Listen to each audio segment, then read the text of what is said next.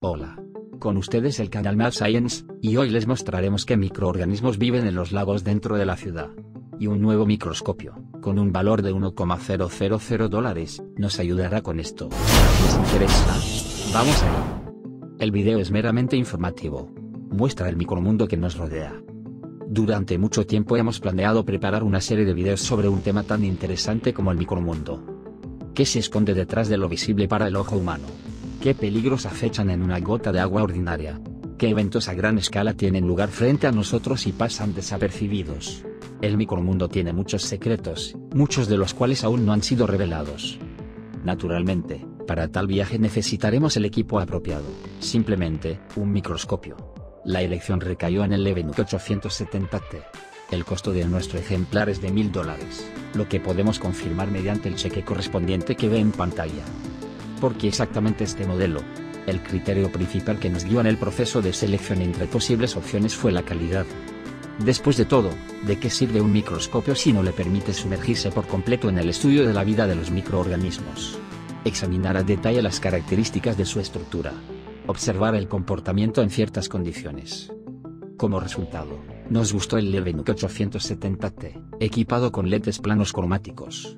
Estos últimos proporcionan imágenes de alta definición en todo el campo de observación, y también se caracterizan por una buena reproducción del color, lo que les permite ser utilizados con éxito en el trabajo diario dentro de varias instituciones médicas, universidades, etc.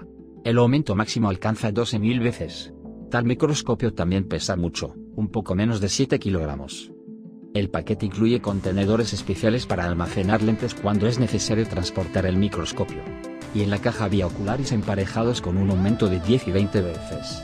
Proyectándonos hacia el futuro, en lugar de ellos, usamos una cámara. También se incluyen tres filtros de color, azul, verde y amarillo. Leeuwenhoek 870 está equipado con una luz de fondo incorporada. En este caso, el microscopio también puede usarse sin conectarse a la red eléctrica, enfocando el flujo de la luz con un espejo. El modelo admite la conexión de cámaras especiales de marca, su costo es bastante alto, alrededor de 400 dólares. Los adaptadores necesarios vienen junto con el paquete, pero la cámara en sí tendrá que comprarse por separado. Decidimos ir hacia otro lado conectando una cámara DSLR convencional al microscopio. Resultó que hacer esto es bastante simple, pero se requerirán algunos preparativos preliminares. En principio, preparamos el adaptador especial que va montado a la cámara. Después de eso, se puede colocar el microscopio.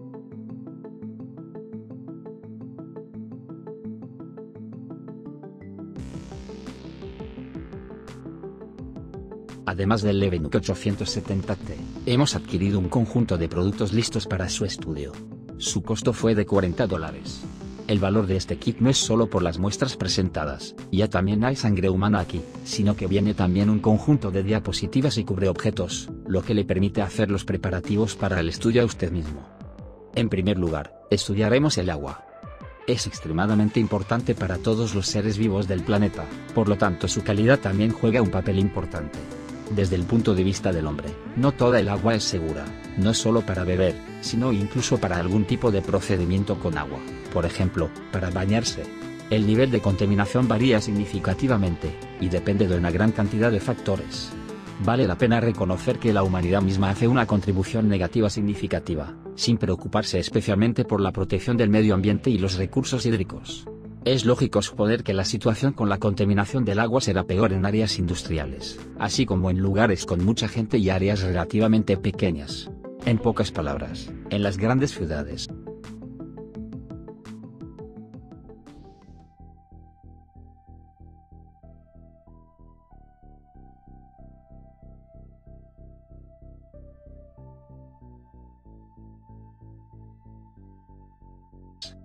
¿Qué se puede encontrar en una muestra de agua tomada de un lago dentro de una gran ciudad con más de un millón de habitantes?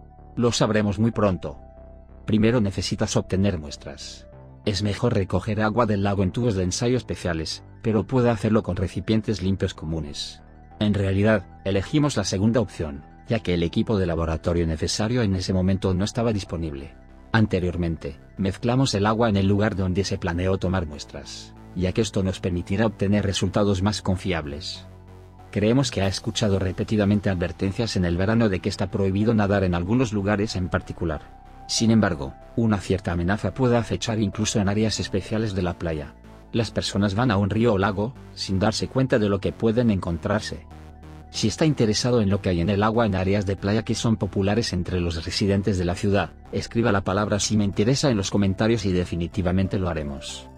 Un vistazo rápido a una muestra de agua no proporciona suficiente información. Parece completamente limpia, algunas impurezas no son visibles. ¿Pero es realmente así? Tomamos una gota y la colocamos bajo el microscopio, utilizando el objeto y los cubreobjetos. En este proceso de estudio, utilizaremos varias formas de agua, pero su cambio no se podrá ver en el video.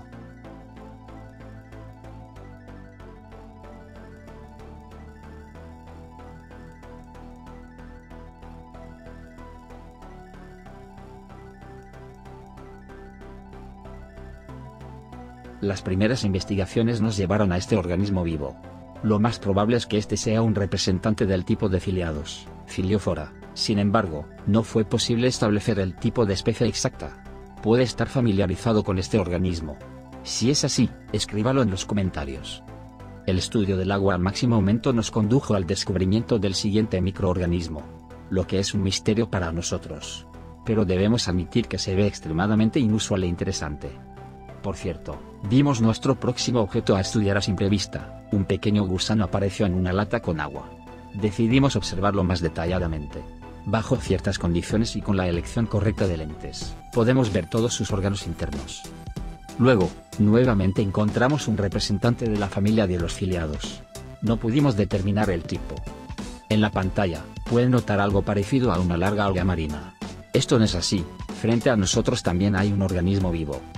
Y ahora frente a ustedes hay una colonia de infusorias vorticeia.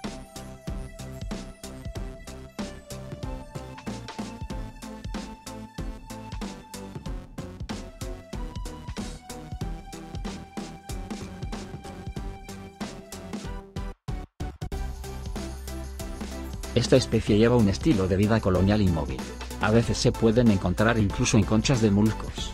Exteriormente, nos recuerdan mucho a las campanas, que están unidas al sustrato por un largo proceso. Las infusorias vorticeas son depredadores por naturaleza. Su alimento principal son varias bacterias que ingresan a su abertura oral con la corriente de agua. La especie del siguiente microorganismo tampoco se pudo establecer. Exteriormente, se parece a un representante del tipo rotífera.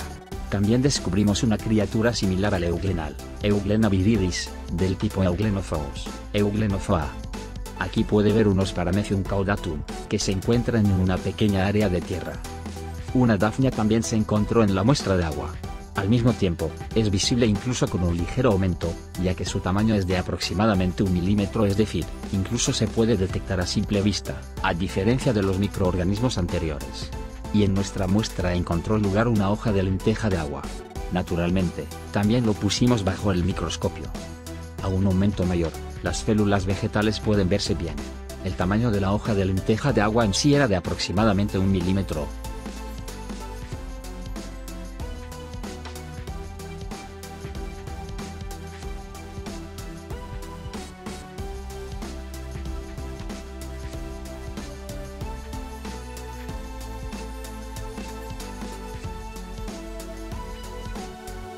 El siguiente objeto es un camarón. Lo atrapamos en nuestro acuario. Presta atención a la claridad de los órganos internos y la estructura de los camarones. Su tamaño es de aproximadamente un centímetro. Es lógico suponer que en algún lugar cercano debería haber habitantes más pequeños del acuario. La suposición resultó ser cierta. Resultó que junto con los camarones, otros organismos también se subieron al portaobjeto de vidrio. Uno de ellos es visible cerca de sus antenas. Usando un microscopio, puede ver claramente los procesos que ocurren dentro de los camarones. Al comienzo del video, dijimos que también compramos un conjunto de muestras listas para su estudio. Como ejemplo, instalamos uno de ellos. Ahora ves la boca de un mosquito. Si cambia la ampliación, incluso puede verse la estructura de los ojos del insecto. Ahora puede ver las extremidades de una abeja. Se ve claramente qué tan grandes son las garras de este insecto. La siguiente muestra es la mosca drosófila observamos casi todo con el aumento más bajo, ya que las muestras son bastante grandes. Es de destacar que en la mosca drosófila, se notan garras bastante impresionantes en las extremidades. Se aumenta el zoom, entonces puede observar la estructura de sus ojos. Eso es todo por hoy. Si te pareció interesante, déjanos un like y comparte el video con tus amigos. ¿Quieres ver algo más bajo el microscopio? Escríbelo en los comentarios que te interesa exactamente. Para no perderte nuevos videos.